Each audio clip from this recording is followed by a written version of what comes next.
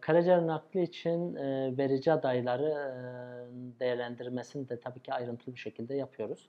Şimdi yasal olarak vericinin 18 yaşının üzerinde olması gerekiyor. Zaten 18 yaş altındakilerin kesinlikle verici yapamıyoruz. Yasal bir sınır, alt sınır. Üst sınır olarak da biz merkez olarak 55 yaş gibi ya da herhangi bir sistemik hastalığı zaten istemiyoruz. Hastalığı yok.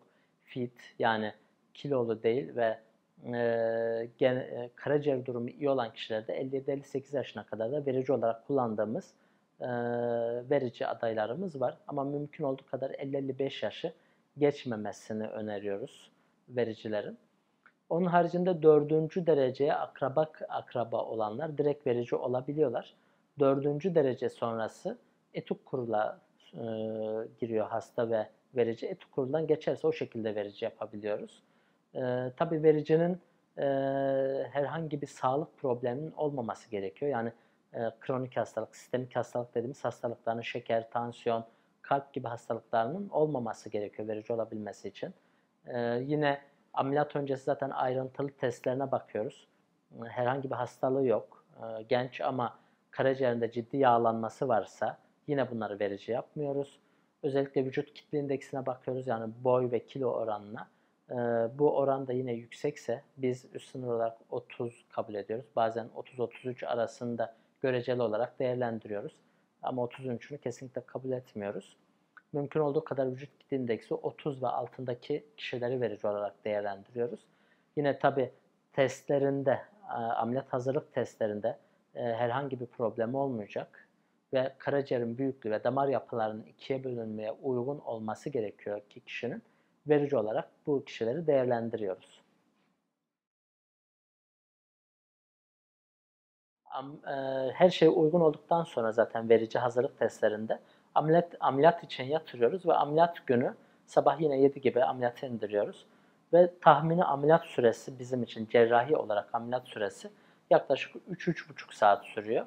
Herhangi bir sıkıntı olmadığında vericiyi normal odasına alıyoruz. Yani servise alıyoruz. Yoğun bakıma çıkarmıyoruz. İlk günün gecesine vericiyi yürütmeye başlıyoruz. Ee, ve devamındaki günlerde zaten kendiliğinden yürüyecek aşamaya geliyor. Herhangi bir problem olmadığında vericiyle ilgili ki yüzde 90 üzeri o şekilde oluyor. Ortalama 5. günde taburcu ediyoruz vericiyi. E, taburculuk e, sonrası bir defa kontrole çağırıyoruz. Genellikle bu bir hafta sonrasında oluyor. Bir hafta sonra kontrole çağırıyoruz. Kontrolde herhangi bir problemi yoksa testlerini ve ultrasonunu yapıyoruz. Muayenesini yapıyoruz. Herhangi bir problem yoksa kontrolde de bir problem olmasa bir daha bize gelme diyoruz vericiye. Ee, normal sosyal hayatında herhangi bir kısıtlamaya gitmiyoruz. Vericinin yeme içme kısıtlaması olmuyor. Ama tabii ki doğal olarak sigara ve yine alkollü belli bir süre kullanmamamasını hatta mümkünse hiç kullanmamasını tavsiye ediyoruz verici için. Yeme ile ilgili herhangi bir kısıtlamamız yok. Maske kullanmayacak, kullanmıyor ve herhangi bir ilaç kullandırtmıyoruz vericiye. Ee, bazı yanlış e, bilgiler ya da anlaşılmalar olabiliyor toplum arasında. İşte verici yarım adam oluyor ya da işte bazı kısıtlamalar oluyor gibi. Böyle bir şey kesinlikle yok. Verici normal hayatına eskisi gibi devam ediyor. Ee, sadece ilk birkaç ay ciddi şekilde ağırlık kaldırmasını istemiyoruz 25-30 kilonun üzerinde. Bunun da nedeni kesi yeri, ameliyat yerinde fıtık oluşmasın diye. Onun haricinde herhangi bir kısıtlamamız yok vericiyle ilgili.